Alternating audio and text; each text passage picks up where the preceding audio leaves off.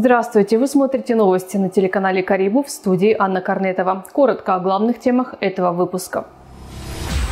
Режим повышенной готовности введен в Магаданской областной больнице. Почему родственников не пускают к пациентам? Расписаться теперь можно не только в ЗАГСе. Торжественные мероприятия проводят и на выездных площадках. Елку желаний зажгли в молодежном центре. Осуществить мечту ребенка может каждый. Магаданской областной больнице введен режим повышенной готовности. Об этом сообщил главный врач Сергей Тимофеев. Он объяснил, по какой причине было принято такое решение и какие ограничения за ним последуют. В течение последних э, недель мы отмечаем подъем э, заболеваемости э, гриппом и острыми респираторными вирусными инфекциями. Могу сказать, что в настоящее время – достаточно большое количество пациентов находятся у нас в инфекционном отделении. И если прошлый год э, в это время мы с вами все героически боролись с ковидом, то сейчас на первый план вышел грипп. Есть много пациентов с э, тяжелыми гриппозными пневмониями. Как правило, это не вакцинированные, не получившие вакцинацию от гриппа пациенты. Также мы отмечаем Э, случаи заболевания э, гриппом и в э, отделениях, в других отделениях Магаданской областной больницы. Ну и, соответственно, в связи с этим приказом главного врача в настоящее время введен в учреждение режим повышенной готовности. Мы э, отменили посещение. Если пациенты пациентам требуется уход родственников, то посещение осуществляется только по пропускам, которые э, подписываются руководителем структурного подразделения, для того, чтобы э, максимально постараться оградить наших пациентов, а многие из них имеют тяжелые хронические заболевания, от э, заболевания вирусной инфекцией уже непосредственно в стенах медицинской организации. И снова в редакцию нашего телеканала обратились жители Сусумана и опять с жалобой на огромное количество безнадзорных собак. Об этой проблеме мы рассказываем уже около года, и еще летом представители местной администрации обещали ее решить, но с тех пор свор меньше не стало.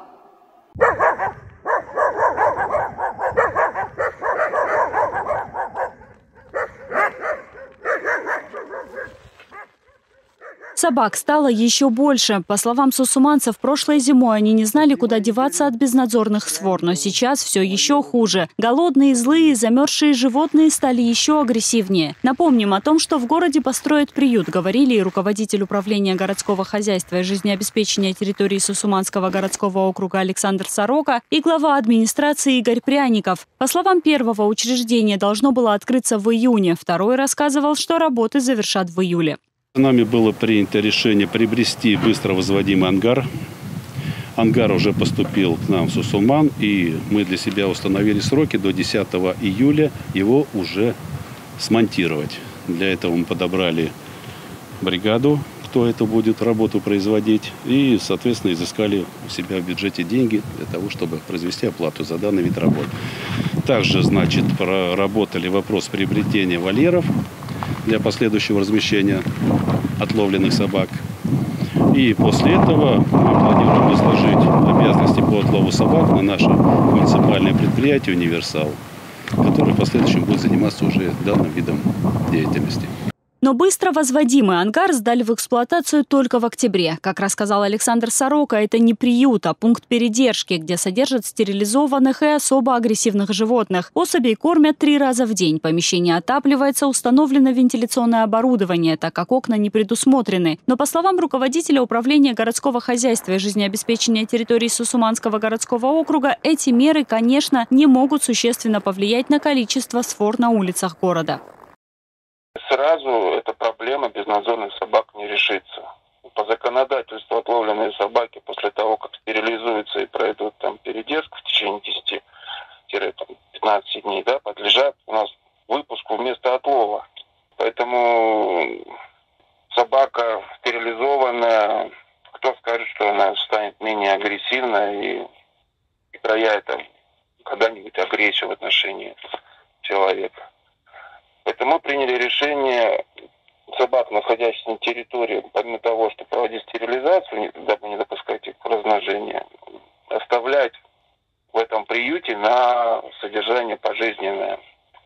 Вот. Ну, либо пристраивать их к новым владельцам, новым хозяинам. Кстати, к нам обращались за летний период порядка там 6-7 человек за собаками. Мы им передавали отловленных животных. Сразу это не решит проблему безнадзорных животных. Их надо просто убирать с улиц населенных пунктов. По крайней мере, чтобы не было в таком количестве их огромном. Александр Сорока добавил, что приют в виде вольеров с будками под открытым небом для постоянного содержания бездомных собак планируют построить следующим летом, а ангар будут использовать только для передержки животных после стерилизации. Но пока этого не произошло, люди по-прежнему боятся выходить на улицу. Стаи, которых за лето стало еще больше, вновь оккупировали старые места, в частности теплотрассы. К слову, ремонтировали их, если это можно так назвать, летом. Только вот некоторые участки остались открытыми и, естественно, животные растаскали утепление утеплители устроили себе норы. Отсюда еще одна проблема – холод в квартирах. Не меньше сусуманцев беспокоит антисанитария. Повсюду в городе валяются разодранные мусорные пакеты и еда, которую щенкам и их родителям выносят неравнодушные люди, превращая место, где кормятся дворняги, в особо охраняемую территорию, а точнее особо опасную для населения. И страшнее всего за детей, ведь этот кошмар происходит практически на каждой улице и почти у всех социально важных объектов, в том числе возле школ и детских садов. Кончится ли когда-нибудь этот ужас, колымчане не знают, поэтому вновь обращаются к властям с вопросом. Может быть, пора все-таки принять более решительные меры? Олеся Хитагурова, Виталий Моряков. Специально для Карибу. Гуманитарная помощь от колымчан продолжает поступать в подшефную Ждановку. Продукты питания и средства личной гигиены передают в соццентр. Затем их получают нуждающиеся. Подробности в материале Олега Дудника. Распишитесь, пожалуйста. Сегодняшнее число. В августе этого года в Ждановку Донецкой Народной Республики прибыла первая партия гуманитарной помощи из Магаданской области. Выдача нуждающимся производится в местном центре социального обслуживания. Все люди очень благодарны э, Магаданскому округу. Люди воспринимают с благодарностью. Скажите, пожалуйста, вот состав э, такого комплекта гуманитарной помощи, что входит? Консервы, макароны, э, сгущенка, крупы всякие разные. Ну, все самое основное. Вот, и чай, и крупы, и туалетная бумага. Продукты из расчета на 1850 наборов были закуплены в центральных регионах страны и доставлены на Донбасс. В Ждановке уже с помощью сотрудников социальных служб расфасованы и, согласно утвержденным спискам наиболее нуждающихся категорий населения, выданы людям. Мы, говорю, получаем, говорю, минималку. Нам, говорю, очень, говорю, нужна помощь, очень. Говорю, потому что вот война, говорю, все, э, стреляют, говорю, прячемся, выходим очень-очень, говорю, и страшно, и, и жалко, говорю, за своих детей, говорю, у меня внук, говорю, воюет тоже в Херсоне, под Херсоном. Поэтому, говорю, очень, говорю, нужна, говорю, помощь. Спасибо вам большое. Маданской области, мои хорошие. Вес одного продуктового набора, также включающего в себя и некоторые средства личной гигиены, около 13 килограмм. Но главная ценность нашей помощи не в килограммах и не в штуках переданной гуманитарки. Для людей самое важное другое. Говорю, за детей страшно, говорю, за всех. Мы даже не знаем, говорю, что было, если бы, говорю, не было, говорю, Россия, говорю, за... не пришла к нам. Говорю, у нас бы, говорю, тоже, говорю, смели бы, говорю, с лицом земли как э, у нас люди разговаривают, как говорят, мы бы уже давно гнили бы. Олег Дудник специально для Карибу. Ждановка, Донецкая Народная Республика. Спасибо большое. Торжественную церемонию бракосочетания теперь можно провести не только в ЗАГСе, но и на выездной площадке. Сегодня в муниципальном центре культуры прошло первое подобное торжественное мероприятие. Побывала там и Олеся Хитогурова. Первыми молодоженами, у которых появилась возможность провести церемонию бракосочетания вне стен ЗАГСа, стали Василий и Александра Глущук. По их словам, это очень удобно, особенно для тех, кто хочет пригласить много гостей или выбрать самое красивое место в городе. Я вам прям даже скажу с практической точки зрения, потому что мы пытались тоже найти, когда планировали, думали, как нам организовать наше мероприятия мы столкнулись э, с проблемой вообще локации в нашем городе. У нас была идея снять дом или какую-то площадку. Вот с площадками нас не так много.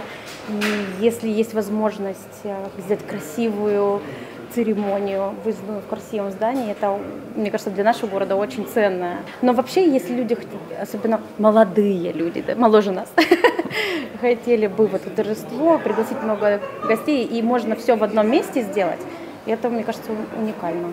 Клятвы в любви и верности, обмен кольцами и первый поцелуй в качестве мужа и жены. Под аплодисменты родных и друзей Василия и Александра получили свидетельство о заключении брака. Именем Российской Федерации я объявляю вас мужем и женой.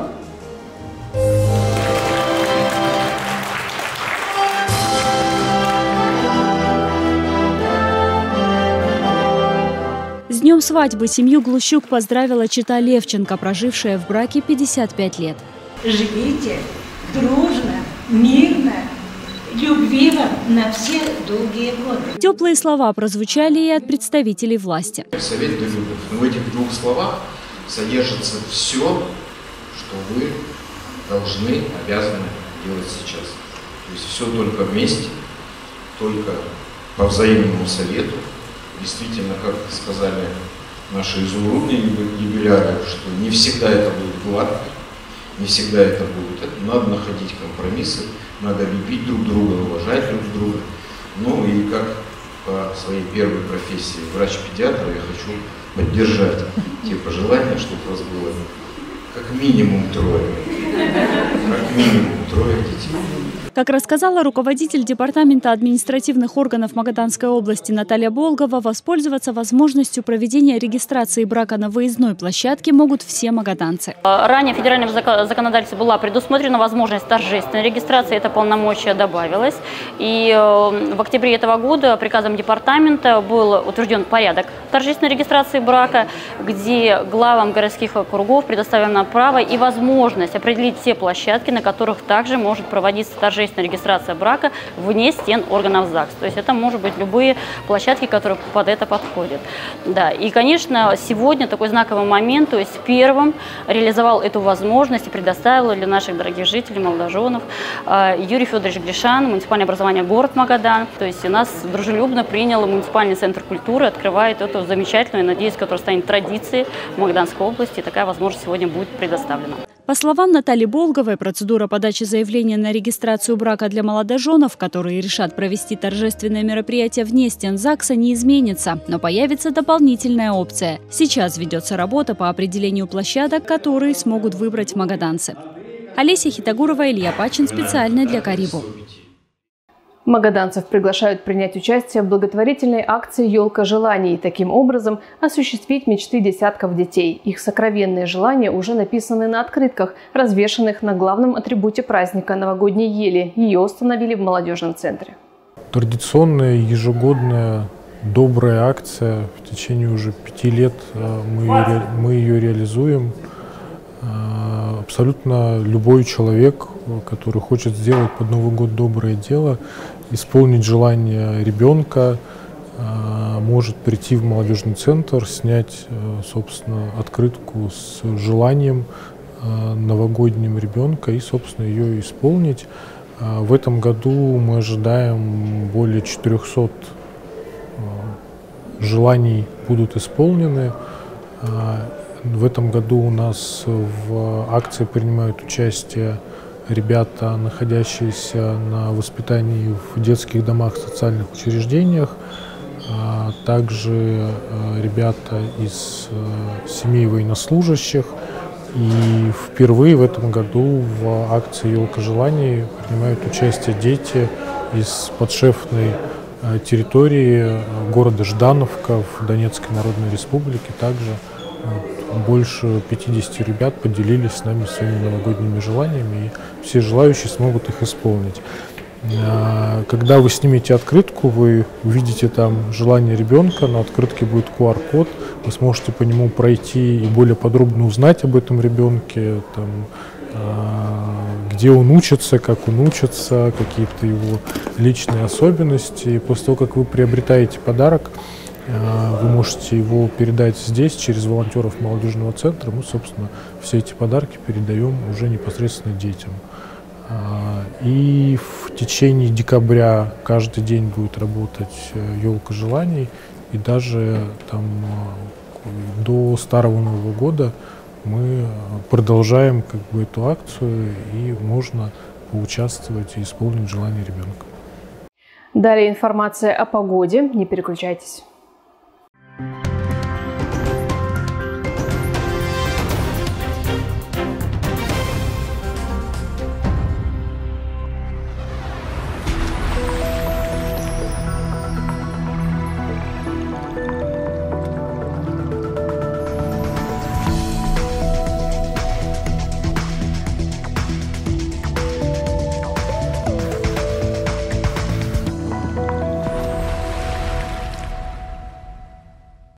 Это все на сегодня. Мы продолжим следить за развитием событий. Смотрите телеканал Карибу. Скоро будут новости.